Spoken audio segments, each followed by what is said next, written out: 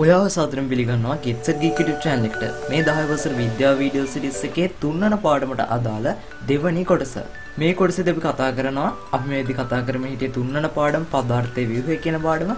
මේ වෙද්දි අපි කතා කරලා ඉවරයි පරමාණු පිළිබඳ ග්‍රහාකෘතිය, ඉලෙක්ට්‍රෝන වින්‍යාසය, නූතන ආවර්තතාවක මේ ටික ඔක්කොම අපි කලින් වීඩියෝ එකේදී කතා කරා.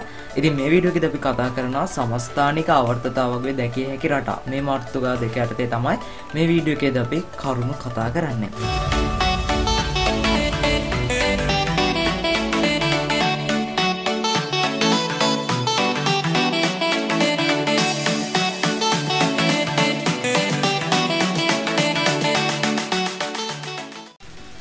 හරිතින් අද අපිට කතා කරන්න තියෙනවා කිව්වේ සමස්ථානික සහ ආවර්තතාවකයේ දැකිය හැකි රටාවක් කියන මාතෘකා දෙක යටතේ තමයි අද අපි කතා කරන්නේ. ඉතින් අපි මුලින්ම කතා කරන්නේ සමස්ථානික ගැන.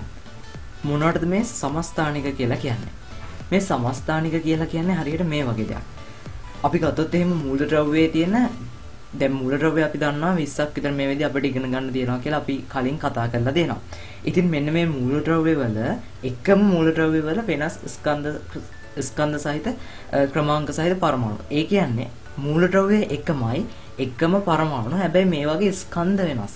මේ වගේ බර වෙනස්. එකම වර්ග කට්ටිය, ඒ කියන්නේ හයිඩ්‍රජන් නම් එහෙම හයිඩ්‍රජන්මයි හයිඩ්‍රජන් පරමාණුමයි. හැබැයි එක එක හයිඩ්‍රජන් පරමාණු වල බර වෙනස්. ඒකින්ද අපි වෙන මේ සමස්ථානික කියලා හඳුන්වන අය වගේ.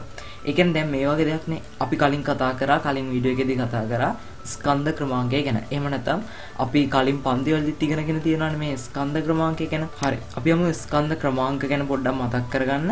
දැන් අපි ස්කන්ධ ක්‍රමාංකයක් කියලා කිව්වේ පරමාණුවේ තියෙන ප්‍රෝටෝන සංඛ්‍යාව සහ නියුට්‍රෝන සංඛ්‍යාව එකතුව. ඉලෙක්ට්‍රෝන සංඛ්‍යාව ගන්නෙ නෑ කිව්වා. ඒවා අපි ඔක්කොම කලින් වීඩියෝ එකේදී කතා කරා. ඔයාලට වීඩියෝ එක බලන්න බැරිුණා නම් එහෙම පල්ලේ ඩිස්ක්‍රිප්ෂන් එකේ මම ඒකේ ලින්ක් එක දාලා දෙනවා. නැත්නම් ගෙට්සර් ගී කම්පියුටර් channel එකට ගිහිල්ලා ඒ වීඩියෝ එක බලන්න පුළුවන්. ඉතින් මෙතනදී අපි කතා කරා මේ ප්‍රෝටෝන සංඛ්‍යාව සහ මේ පරමාණුවේ ස්කන්ධය කියලා කියන්නේ ප්‍රෝටෝන සංඛ්‍යාවයි නියුට්‍රෝන සංඛ්‍යාවයි එකතු. අර නෂ්ටිය මැද තියෙන ප්‍රෝටෝන වලයි නියුට්‍රෝන වලයි එකතුවට තමයි අපි මේ ස්කන්ධ ක්‍රමාංකය කියලා කිව්වේ. එතකොට දැන් මේ සමස්ථානික කියලා කියන්නේ මේ වගේ දෙයක් කියවනේ මම ස්කන්ධ ක්‍රමාංක එකම ස්කන්ධ ක්‍රමාංක එකින් එක වෙනස්. හැබැයි මේවා ඔක්කොම එකම මූලද්‍රව්‍යයේ තියෙන වෙනස් ස්කන්ධ සහිත පරමාණු තමයි මෙතෙන්දී අපි සමස්ථානික කියලා කිව්වේ. ඒ කියන්නේ අපි හයිඩ්‍රජන් පරමාණුව ගත්තොත් හයිඩ්‍රජන් පරමාණුවේ ස්කන්ධ තුනක් තියෙනවා. හයිඩ්‍රජන් පරමාණුවේ ස්කන්ධ එහෙම නැත්නම් මේ සමස්ථානික තුනක් තියෙනවා. මේ වගේ ස්කන්ධ ක්‍රමාංක වෙනස් ස්කන්ධ ක්‍රමාංක සහිත පරමාණු තුනක් තියෙනවා. ඒවා අපි ඉස්සරහට කතා කරනවා ප්‍රෝටියම්, ඩියුට්‍රියම්, ට්‍රිටියම් වගේ ඒ වගේ ස්කන්ධ ක්‍රමාංක සහිත ඒවා සමස්ථානික තුනක් තියෙනවා. එතකොට මේ මේ එකක තියෙන එකක් නෙවෙයි ඊළඟ එකේ තියෙන එක. ඊළඟ එකට ගියාම ඒක ස්කන්ධය තවත් වෙනස්. එතකොට ඔන්න ඔය විදිහට වෙනස් වෙන්න හේතුව තමයි. එතකොට දැන් අපි දැනගන්න ඕනේ කොහොමද එහෙනම් අපි මේක හයිඩ්‍රජන් කියලා අඳුනගන්නේ. ඔයාලට හොඳට මතක ඇති අපි කලින් කතා කරා අපි කලින් වීඩියෝ එකේදී කතා කරා ප්‍රෝටෝන සහ නියුට්‍රෝන වල එකතුව තමයි ස්කන්ධය කියන්නේ. මේ නියුට්‍රෝන කියන එක මං කිව්වා එතෙන්දී ඒ කියන්නේ වෙනස් වෙන්න ඉඩ තියෙනවා කියලා. මේ ප්‍රෝටෝන කියන එක වෙනස් වෙන්නේ නැහැ කිව්වා. ඒකටම අනන්‍ය වෙච්ච ලක්ෂණයක් කියලා කිව්වා. එතකොට දැන් මෙතනදී අපි හයිඩ්‍රජන් කියලා මේක හොයාගන්නේ මේකේ තියෙන ප්‍රෝටෝන ගාන වෙනස් වෙන්නේ නැහැ. ඒතකොට හයිඩ්‍රජන් වල තියෙන්නේ එකයිනේ ප්‍රෝටෝන. එතකොට මේකේ තියෙන පරමාණු ක්‍රමාංකය එහෙම නැත්නම් මේ ප්‍රෝටෝන ගාන එකයි.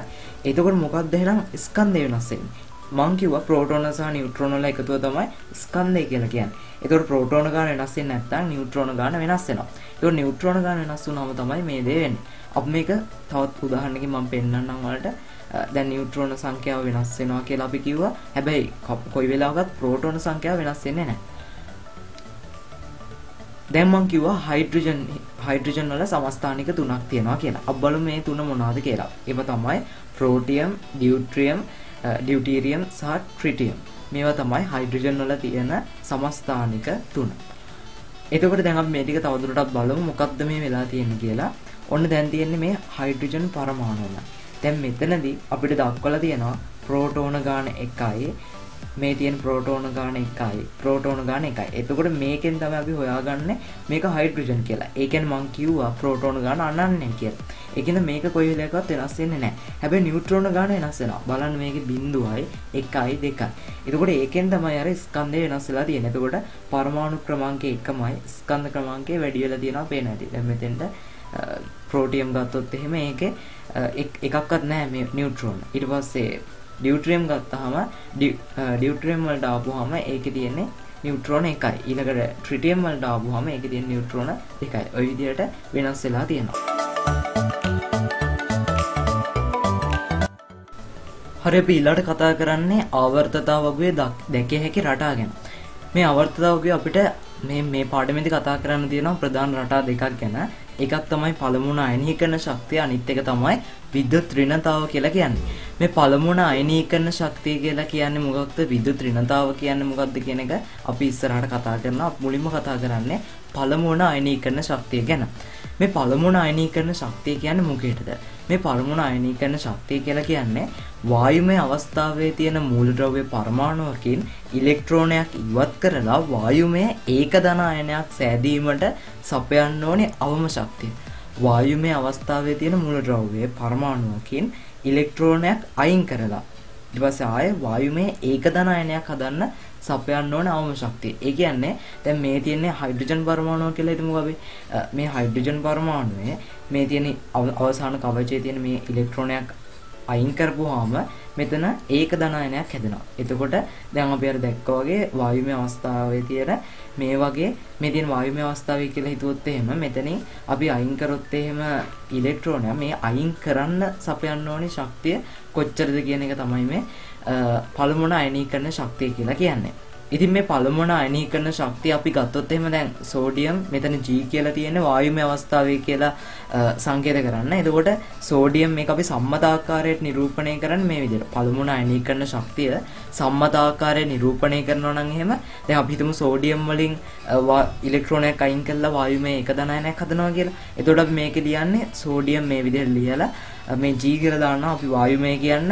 ඊට පස්සේ මේ විදිහට ඊතලයක් දාලා මෙතන සෝඩියම් ධනායනයක් කියලා අපි සඳහන් කරන ඊට පස්සේ ධන ඉලෙක්ට්‍රෝන. දැන් මෙහෙම තියන්නේ අපි සෝඩියම් ධනායනයන් අපි හදන්නේ සෝඩියම් ධනායනයක් හැදෙන්නේ ඉලෙක්ට්‍රෝනයක් අයින් කරපුවාමනේ. එතකොට මේ දෙපැත්ත නිකන් සමාන කරලා වගේ නවලට දෙන්නේ. ඒ කියන්නේ දැන් සෝඩියම් ධනායනට ඉලෙක්ට්‍රෝනයක් එකතු කරපුවාම ආයෙත් දෙන්නේ සෝඩියම් වායුමය සෝඩියම් එකක්නේ. එතකොට මේ සෝඩියම් පරමාණු එතකොට මෙතනදී ධනායනයක් මේ විදිහට දෙපැත්ත සමාන කරලා වගේ ලියනවා. එතකොට සෝඩියම් ධනායනයක් ධන ඉලෙක්ට්‍රෝනයක්. එතකොට හැදෙන්නේ මේකනේ. මේ විදිහට තමයි අපි සම්මත ආකාරයට මේක ලියනවා නම් එහෙම ලියන්න ඕනේ. ඉතින් මේ පළමුණ අයනීකරණ ශක්තිය මනින්න ඕනේ. මේ පළමුණ හැම දෙයක්ම මයින්න බලනවා. ඉතින් මේක දැන් අපි අයනීකරණ ශක්තියක්. ඒ කියන්නේ අර ඉලෙක්ට්‍රෝනයක් අයින් කරන්න සපයන්න ඕනේ ශක්තියක් ගැන කතා කරන්නේ. ඉතින් මේ ශක්තිය අපි මැනගන්න බෑ. ඉතින් ඒක මනින්න ඒකකයක් තියෙනවා. ඒක තමයි මවුලයට කිලෝජූල්. දැන් කිලෝජූල් කියන්නේ අපි දන්නවා ජූල් කියන්නේ ශක්තියමයින එකකයක්නේ. එතකොට මොකක්ද මේ මවුලය කියන්නේ? මවුලයට කිලෝජූල්. එතකොට මේක දැන් මේ ඍණ එකෙන් කියන්නේ යට කියන එකනේ. එතකොට මවුලයට කිලෝජූල්. එතකොට මේ මවුලය කියන්නේ මොකක්ද කියලා දැනගන්න ඕනේ. මේ මවුලය ගැන අපිට ඉස්සරහා පාඩම් වලදී ගොඩක් කරුණු කතා කරන්න තියෙනවා. දැනට අපි මවුලය කියන එක ගැන පොඩි අවබෝධයක් ලබා ගමු. ඉතින් මේ මෙහෙම ගන්නකො දැන් මේ පරමාණුව කියලා කියන්නේ අපිට හිතා ගන්නවත් බැරි තරම් පුංචිම දෙයක්නේ. හිතන්නකො මේ හැම පදාර්ථයක්ම හැදිලා තියෙන කුඩාම ඒකකේනේ. මේ අපේ අවට තියෙන මේ පදාර්ථ හැදිලා තියෙන කුඩාම ඒකනේ අපි මේ මවුලයකේ අපි මේ පරමාණුව කියලා දුන්නන්නේ. ඉතින් ඒ වගේ කුඩාම ඒකකයකින් අය අර ඉලෙක්ට්‍රෝනයක් අයින් කරන ශක්තිය අපිට මේ එදිනදා ජීවිතේදී භාවිතා කරන ඒකක වලින් ඇත්තට මයින්න බෑනේ. ඉතින් එන්නේ ඒකින්ද තමයි අපි මේ මවුලය කියන ඒකේ පාවිච්චි කරන්නේ. මේ මවුලය කියලා කියන්නේ 6.02යි 2යි ගුණ කෙරෙන්න ඕනේ අපි ඒක 10 23 වෙනි බලය. 6.02යි 2යි 2යි කියන එක ගුණ කරන්න ඕනේ 10 23 වෙනි. මෙන්න මෙච්චර ප්‍රමාණයක් අරගෙන තමයි අපි ගණන්නේ. එතකොට මේ විදිහට මවුලයට කිලෝ ජූල් කියලා අපි අපිට සඳහන් කරන්න පුළුවන්. එතකොට මේ එකකින් තමයි ඉන්නේ මවුලය ගැන අපිට ඉස්සරහට ඉස්සරහ පාඩම් වල මම හිතන්නේ ගොඩක් කරුණු ඉගෙන ගන්න තියෙනවා. ඉතින් මේ විදිහට අපිට දක්වන්න පුළුවන් හයිඩ්‍රජන් වල මේ විදිහට 1310යි ওই විදිහට දැන් මේ තමයි ඒකකේ. කියන්නේ මේකකින් මේ හයිඩ්‍රජන් පරමාණුවෙන් ඉලෙක්ට්‍රෝනයක් ඇදලා ගන්න අන්තිම කවචේ තියෙන ඉලෙක්ට්‍රෝනයක් අයින් කරන්න වායුමය අවස්ථාවේදී අයින් කරන්න සපයන්න ඕනේ ශක්තිය කොච්චරද? උන්න වගේ අදහසක් තමයි මෙතෙන් තියෙන. එතකොට මේ වගේ අපිට එක එක ශක්තිය දක්වන්න පුළුවන්. ඉතින් මේ ශක්තිය දක්වද්දී අපිට පේන දෙයක් තමයි දැන් මේක අපි අධ්‍යයනය කරන්න ඕනේ. දැන් හයිඩ්‍රජන් පරමාණුවට වඩා හීලියම් පරමාණුවේ අගේ වැඩිනේ. ඒ වගේම තමයි ලිතියම් වලට වඩා බෙරිලියම් වැඩි. බෙරිලියම් වලට වඩා බෝරොන් වැඩි. කාබන් ඔය විදිහට ඉස්සරහට යනවා ඒ වගේම පාතට යන්න යන්න අඩු වෙනවා වගේ වලට පේනවනේ මෙතන දැන් ඒ කියන්නේ මෙතන සුළු සුළු විචලන තියෙනවා. හැබැයි සමස්තයක් වශයෙන් අපි ගත්තාම 1000 ගණක් තියෙනවා 500 ගණක් තියෙනවා ඊට පස්සේ 400 ගණක් මේ පැත්තට ඇද්දි කොහොමත් අඩු වෙලා තියෙනවා පේනවා මේ පැත්තට ඇද්දි වැඩි වෙලා තියෙනවා පේනවා. ඉතින් ඔව් ඉතින් මේ මේ මෙතෙන්දි මේ හාණ්ඩ ඔස්සේ ගමන් කරද්දි මේ කියන්නේ වමේ ඉඳන් දකුණට යද්දි මේ මූලද්‍රව්‍ය ආවර්තය වමේ ඉඳන් මම කියවනේ මේ අපේ මේ මාතෘකාව තමයි ආවර්තතාවක දකින්න පුළුවන් රටාව. එතකොට මේ රටාව මොකද්ද කියන්නේ අවබෝධ කරගන්න ඕනේ. එතකොට පළමු නායනීකරණ ශක්තිය අනුව මූලද්‍රව්‍ය ආවර්තයේ මේ දකුණු පැ වම් පැත්ත ඉඳලා දකුණු පැත්තට යද්දි එන්න එන්න එන්න එන්න එන්න වැඩි වෙනවා මේකේ තියෙන පළමු නායනීකරණ ශක්තිය වැඩි වෙනවා. ඒකට වෙන්න හේතුව තමයි දැන් අපි ගත්තොත් එහෙම අපි ගත්තොත් එහෙම හයිඩ්‍රජන් පරමාණුව. මේ හයිඩ්‍රජන් පරමාණුවේ අපි කවච ටික එහෙම ඇඳලා හදාගත්තාම අපිට තේරෙනවා. දැන් ඔයාලගේ හිතෙන් මේක මවා ගන්න. හයිඩ්‍රජන් පරමාණුවේ තියෙන එක ඉලෙක්ට්‍රෝනයින් අවසාන කවචයේ තියෙන එක ඉලෙක්ට්‍රෝනයින්. එතකොට හීලියම් පරමාණුව ගත්තාම ඒකේ ඉලෙක්ට්‍රෝන දෙකක් තියෙනවා. ඒ වගේම තමයි මේ කවච සම්පූර්ණ වුණාම මේ පරමාණුවක අපි දැන් කලින්ම පාඩමේදී කතා කරා කවච හතරක් තියෙනවා කියලානේ. ඒතකොට පළවෙනි එක තමයි පළවෙනි එකේ තියෙන්න පුළුවන් උපරිම ගාණක් KLMN කියලා කතා කරේ. ඒතකොට K කවච තියෙන්න පුළුවන් උපරිම ගාණක් කතා කරා. ඒතකොට K කවච තියෙන්න පුළුවන් දෙකයි. ඊට පස්සේ ඊළඟ කවචට ආපුවාම 8ක් තියෙන්න පුළුවන්. ඊළඟ එකට ආපුවාම 8ක් තියෙන්න පුළුවන්. ඊළඟට ආපුවාම 18ක් තියෙන්න පුළුවන්. ඉතින් මේ විදිහට මේ කවචය සම්පූර්ණ වුණාට පස්සේ හයිලියම් හීලියම් කියන්නේ එතකොට කවචය සම්පූර්ණ වෙනවා. හීලියම් වල ඉලෙක්ට්‍රෝන දෙකයිනේ තියෙන්නේ. එතකොට අන්තිම කවචයේ එක කවචයයි තියෙන්නේ. ඒ කවචේ සම්පූර්ණ වෙලා තියෙනවා. එතකොට ඒ වගේ කවචයක් සම්පූර්ණ වෙච්ච එකකින් ගන්න ගොඩාක් ලොකු ශක්තියක් අවශ්‍ය වෙනවා. මොකද මේ පරමාණු සෑදිලා තියෙන්නේ. එයා එයා හදාගත්තට පස්සේ මෙයාගේ කවච සම්පූර්ණයි නම් එහෙම එයාට තවත් මේ වගේ ඉලෙක්ට්‍රෝනයක් අයින් කරන්න එයා කැමති වෙන්නේ නැහැ. ඒකින්ද එයාගේ කවච සම්පූර්ණයි නම් එහෙම එයාගෙන් ගලව ගන්නවා කියන එක ගොඩක් අමාරුයි. ඒකයි මෙච්චර මේ වැඩි අගයක් කරන් තියෙන්නේ මේ කවචේ. ඉතින් අපි මේ කාණ්ඩ ගැන කතා කරා කලින් වීඩියෝ එකේදී ඒ වීඩියෝ ගාලා බැලුවේ නැත්නම් අනිවාර්යෙන් බලලා එන්න. එතකොට පළවෙනි කාණ්ඩෙදී අන්තිම කවච තියෙන 1යි 2යි 3යි 4යි 5යි 6යි 7යි 8යි සහ කවච සම්පූර්ණ වෙච්ච එකක් මේ බිඳුව කියලා දක්වලා තියෙන්නේ. හීලියම් වල 2යි. එතකොට මෙතන 8යි නම් එහෙම මේ විදිහට ආපුවම නියෝන් වලට ගත්තාම ඒකේ 8ක් තියෙනවා. එතකොට ආගන් වල 8ක් තියෙනවා. ඒ විදිහට කවච සම්පූර්ණ වුණාම ඒකේ තියෙන ශක්තිය වැඩි. ඒ වගේම තමයි මේකට මේ පාතට යන්න යන්න යන්න යන්න අඩු වෙන්න හේතුව තමයි කවච තියෙන දුර. එතකොට මුලින්ම ගත්තාම හයිඩ්‍රජන් මේ මැද තියෙන නෂ්ටියත් එක්ක තියෙන දුර කව පළවෙනි කවච ගත්තාම ඒකේ වැඩි වෙන්න හේතුව තමයි ඒකට ගොඩක් ප්ලගින් තමයි තියෙන්නේ පළවෙනි කවචේ. දෙවනි කවචට ඇද්දි කවචයක් තව පන්නපුවම ඈත් වෙනවනේ. ඒකට ඈත් වුනහම ඒ අතර තියෙන ඒ ඩිස්ටන්ස් ඒ දුර වැඩි වෙනවා. දුර වැඩි වෙද්දි වැඩි වෙද්දි මෙයාගේ තියෙන මෙයා ගලව ගන්න තියෙන පහසුව වැඩි වෙනවා. එතකොට මේ හයිඩ්‍රජන් කියන්නේ නෂ්ටියට ගොඩක් ළඟින් තියෙන හින්දා අපි දන්නවා මේ ඍණාරෝපණේ තියෙන ඉලෙක්ට්‍රෝන වල එතකොට මැද තියෙන නෂ්ටයේ තියෙන ධන ආරෝපණය. එතකොට ධනට ඍණ ඇදලා ගැනීමක් නේ සිද්ධ වෙන්නේ. එතකොට මේ විදිහට ඇදලා ගනිද්දී මේ කවචේ දුර යන්න යන්න යන්න යන්න මෙයාගෙන් තියෙන ඇදලා ගැනීම ආකර්ෂණ බලය ටිකක් අඩු වෙනවා. එතකොට මේ විදිහට එහෙම එන්න එන්න එන්න එන්න කවච ගන්න වැඩි වෙද්දී දැන් මෙතෙන් දාපුවම කවච හතරක් තියෙනවා. ඒකට කවච හතරක ඉඳන් අරකට තියෙන දුර මේවට සාපේක්ෂ මේ කවච තුනට සාපේක්ෂව ගොඩක් වැඩිනේ. ඉතින් ඒ එන්නේ හේතුව හින්දා තමයි මෙහාට යන්න යන්න යන්න වැඩිලා තියෙන්නේ. ඉතින් අපි මෙතෙන්දී තවත් වැදගත් දෙයක් තමයි මේ ප්‍රස්තාරය අපිට ප්‍රශ්න වලටත් අහන්න ඉඩ තියෙනවා. ඉතින් මේකත් ඔයාලා හොඳට අවබෝධ කරගන්න ඕනේ. මේ විදිහට හයිඩ්‍රජන්, හීලියම්, ලිතියම්, බෙරිලියම් ওই විදිහට වැඩි වෙලා තියෙන ආකාරය අපිට බලා ගන්න පුළුවන්. එතකොට මේක තියෙන විශේෂ ලක්ෂණ තමයි මේ හීලියම් කියන්නේ කවච සම්පූර්ණයි. එතකොට නියෝන් කියන්නේ කවච සම්පූර්ණයි. එතකොට ආගන් කියන්නේ කවච සම්පූර්ණයි. ඉතින් ඒ වගේ ඒවා උඩ තියෙනවා. ඒකට හේතුව දන්නවා දැන් අපි මතක ඇතිනේ කවච සම්පූර්ණ 8 වෙන කාණ්ඩේ තියෙන හින්දා මේ උඩ තියෙන ඒවාට හේතුව අපි දන්නවා. එතකොට අපිට මේවා අඳුනා ගන්න පුළුවන්. ඊට පස්සේ මේ යට තියෙන ඒවා අඳුනා ගන්න පුළුවන්. ඒතකොට යටම තියෙන හේතුව අර අන්තිම දැන් එතකොට මේ උඩටම එනවා නම් එහෙම එන්නේ අර 8 වෙනි කාණ්ඩේ තියෙන ඒවා තමයි එන්නේ. 8 වෙනි කාණ්ඩ නැත්තම් කවච සම්පූර්ණ කරපු ඒවා තමයි මේ උඩටම එන්නේ. ඉතින් ඕකත් අපි හොඳට මතක තියාගන්න ඕනේ. හරි ඊළඟට අපි කතා කරන්නේ විද්‍යුත් ඍණතාව ගැන. මොකේද මේ විද්‍යුත් ඍණතාව කියලා කියන්නේ? මේ විද්‍යුත් ඍණතාව කියලා කියන්නේ මූලද්‍රව්‍ය පරමාණුවක් තවත් මූලද්‍රව්‍ය පරමාණුවක් සමග සහසංයුජ බන්ධනයකින් බැඳී ඇති විට එම බන්ධනයේ ඉලෙක්ට්‍රෝන තමා වෙතට ඇද ගැනීමේ හැකියාවට තමයි මේ විද්‍යුත් ඍණතාව කියලා කියන්නේ. ඒ කියන්නේ මොකක්ද? මූලද්‍රව්‍ය පරමාණු දෙකක්. මූලද්‍රව්‍ය පරමාණුවක් සහ තවත් මූලද්‍රව්‍ය පරමාණුවක්. ඒ කියන්නේ මේ පරමාණු දෙකක් සහසංයුජ බන්ධනයක්. මේ සහසංයුජ බන්ධනයක් කියලා කියන්නේ පරමාණු දෙකක් මේ බැඳෙද්දී ඉලෙක්ට්‍රෝන හවුලේ තියාගෙන අපි දන්නවනේ වටේට ඉලෙක්ට්‍රෝන කැරකෙනවා මැද නෂ්ටය තියෙනවා. එතකොට මේ වටේට කැරගෙන ඉලෙක්ට්‍රෝන තියෙනවානේ. ඔන්න ඉලෙක්ට්‍රෝන දෙකක් බැඳෙද්දී ඒගොල්ලෝ ඒ හවුලේ තියාගන්න විදිහට බැදෙන එක තමයි ඒ කියන්නේ බන්ධන ආකාර ගොඩක් තියෙනවා. ඉතින් එක එක කීපයක්ම තියෙන බන්ධන ආකාර. එතකොට මේ සහසංයුජ බන්ධන කියලා කියන්නේ එක බන්ධන විදියක්. ඉතින් මේක ගැන අපිට ඉස්සරහට ඉගෙන ගන්න තියෙනවා. ඉතින් අපි මේ මේ විදිහට මතක තියාගමු මේකේ නිර්වචනය මූලද්‍රව්‍ය පරමාණුවක් සහ තවත් මූලද්‍රව්‍ය පරමාණුවක් සමග සහසංයුජ බන්ධනයකින් බැඳී ඇති විට ඒ බන්ධනයේ ඉලෙක්ට්‍රෝන තමා වෙතට ඇද ගැනීමේ හැකියාව තමයි මේ සහසංයුජ බන්ධනයක් කියලා කියන්නේ. එතකොට මේ මේක මයින්න ඒ කියන්නේ විද්‍යුත් ඍණතාව කියලා කියන්නේ ඇත්තටම මූලද්‍රව්‍ය දෙකක් සංයෝජනය වෙද්දී අපි දන්නවා සංයෝගය හැදෙනවා කියලා. මේ සංයෝජනය වෙද්දී සංයෝජනය වෙන්නේ මේ ඉලෙක්ට්‍රෝන වලින් බැඳුනහම. එතකොට අර එක්කෙනෙක් එක එක දැන් හයිඩ්‍රජන් මූලද්‍රව්‍යයේ විද්‍යුත් ඍණතාව වගේ නෙවෙයි බෙරිලියම් මූලද්‍රව්‍ය. ඒ කියන්නේ එකිනෙකට වෙනස්. එතකොට හීලියම් ගත්තොත් එහෙම ඒකේ විද්‍යුත් ඍණතාව බිඳුව. ඒක නිෂ්ක්‍රීය වායුවක් හින්දා. අපි කතා කරමු ඉස්සරහට. ඉතින් මේ විදිහට එක එක වගේ වෙනස් මේ විද්‍යුත් ඍණතාව කියන එක. එතකොට එන්නේ හැකියාවට තමයි මේ කියන්නේ විද්‍යුත් ඍණතාව කියලා.